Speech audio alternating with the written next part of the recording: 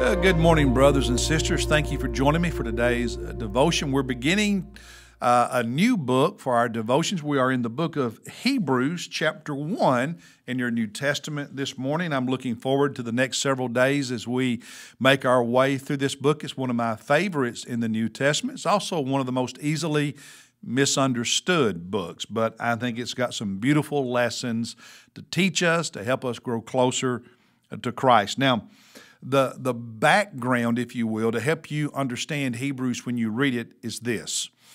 Um, this letter is written to believers, disciples of Jesus, followers of Jesus, who came out of a Jewish background. So they were Jews who became followers of Jesus. And as time passed, uh, due to persecution and other issues, some of them were be- becoming discouraged and beginning to turn back to Judaism. So they were abandoning Jesus and turning to Judaism. And the author, and some, we don't know who wrote Hebrews. Some people think it was Paul. The truth is, no one knows. I don't think it was Paul. It may have been Apollos. Nobody knows for certain, only God. But anyway, doesn't really matter. Anyway, um, it's written to encourage these who had made professions of faith in Jesus. So these people of Jewish background had made professions of faith in Jesus, and they were discouraged and tempted to turn back to Judaism. And this letter is to encourage them not to do that, to stay true to Jesus, keep the faith, if you will, and thereby prove their salvation. And you'll see that as we go as we go forward. So that's the setting. That's that's what's going on in this book. And in chapter one, he begins by demonstrating that Jesus is greater than angels because in the Jewish tradition, angels are revered as special beings created by God. And he's making the point that, yes, they are special agents of God, creations of God, but Jesus is greater than even the angels. So that's chapter one. The verse that spoke to my heart, okay, um, is verse 9 where, where he says, You have loved righteousness and hated lawlessness, talking about Jesus, quoting the Old Testament. Therefore, God, your God, has. Now, here's the part that really grabbed me has anointed you with the oil of gladness above your companions, has anointed you with the oil of gladness. That image uh, just stood out to me because I could picture in the Old Testament and in the New Testament, people anointing people with oil. But here he says, You're anointed with the oil of gladness, of gladness. And so I thought about that, prayed about that, and did some research on that and some, some reading because it really, the image of, of being anointed with gladness spoke to my heart.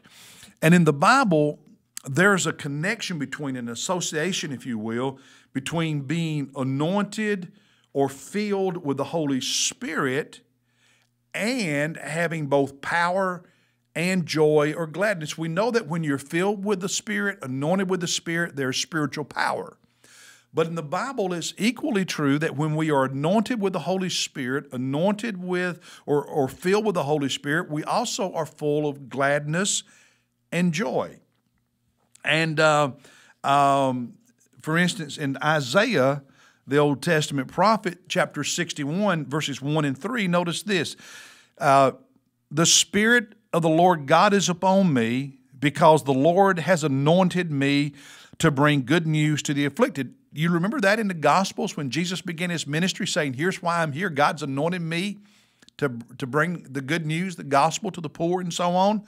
But what I want you to see in verse 1 is that the anointing is, is, is is the Holy Spirit. The Spirit of the Lord is on me and has anointed me. And then down in verse 3, to grant those who mourn in Zion, giving them a garland instead of ashes, the oil of gladness.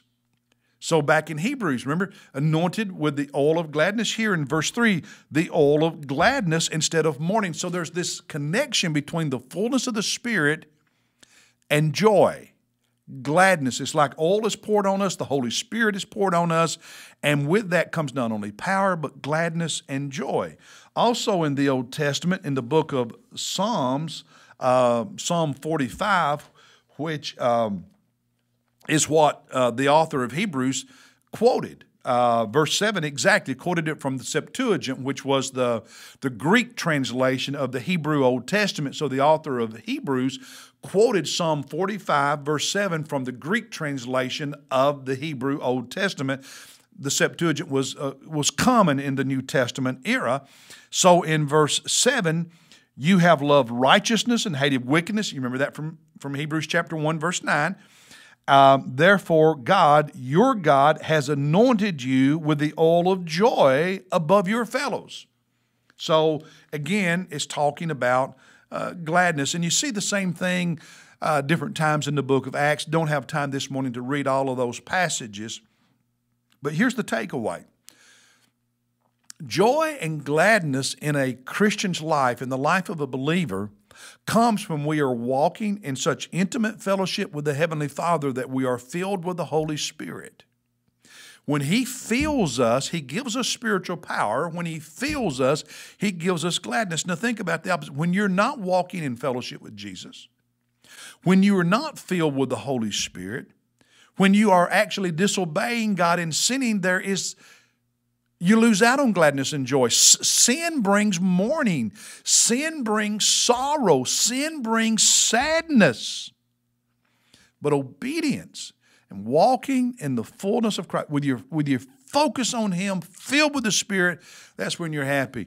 Um, as, as many of you know, I record these devotions uh, in advance. And actually, I read this chapter a few days ago and wrote in my journal on what, and, and I think the reason that phrase in Hebrews 1, verse 9 about being anointed with the oil of gladness stood out to me is because the day before I read that chapter, that day, that whole day, I was in a funk. You ever had a day like that? I mean, the whole day you're just in a funk. You're not happy. You don't like. You're just in a funk. I was in a funk all day. I was miserable. And the following day, I read this chapter, and that phrase just slapped me in the face. And I got to say, the rest of that day was a whole lot better because I got, you, know, when you're in a funk, you just keep thinking negative thoughts and you focus on yourself. But when you focus on Jesus, you focus on Jesus, you focus on Jesus, it's amazing what that does for your heart and for your spirit and for your joy. And I'm just thankful God reminded me of that. And I wanted to share it with you and remind you. Keep your heart on Jesus, your focus on Jesus. Stop looking in the mirror so much and look up to heaven more. Okay? Get out of your head and get in the Word, and you'll be so much happier. Hey, God bless you. I'll see you tomorrow.